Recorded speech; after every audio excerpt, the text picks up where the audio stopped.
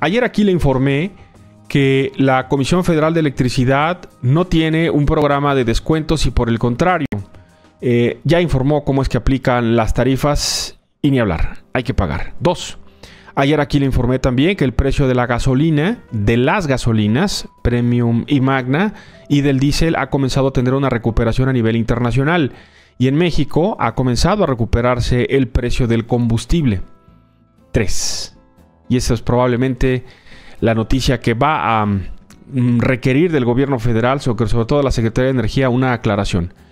Pero es casi un hecho que nos están adelantando lo que viene. El precio de la energía eléctrica, la luz, el precio del gas LP, el precio de las gasolinas y el precio del diésel están 0.42% por arriba de la inflación, que eso es algo que está, digamos, eh, fuera del control del gobierno federal y que no le permite al presidente López Obrador cumplir con su promesa de que los incrementos no serían por encima de la inflación en términos reales.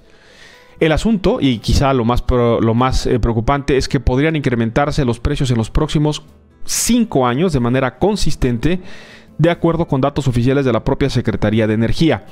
La titular de esta instancia de esta Secretaría Rocional reconoció que no se puede garantizar que los precios de los energéticos sigan estables al cierre del sexenio. Ahí lo dejamos, apúntenlo en la 15 de julio de 2020, lo que estamos diciendo ahora y que este, para quienes nos siguen desde hace muchos años hemos venido diciendo insistentemente los precios de los combustibles, de los energéticos, por tratarse de algo que se tasa en mercado mundial, no pueden bajarse por decreto. Pero bueno, ahí lo dejamos.